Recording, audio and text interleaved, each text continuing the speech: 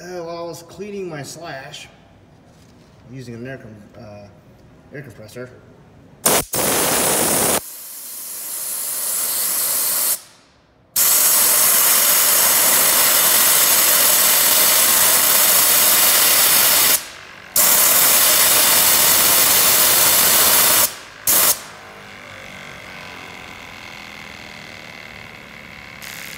I've seen people do this on YouTube.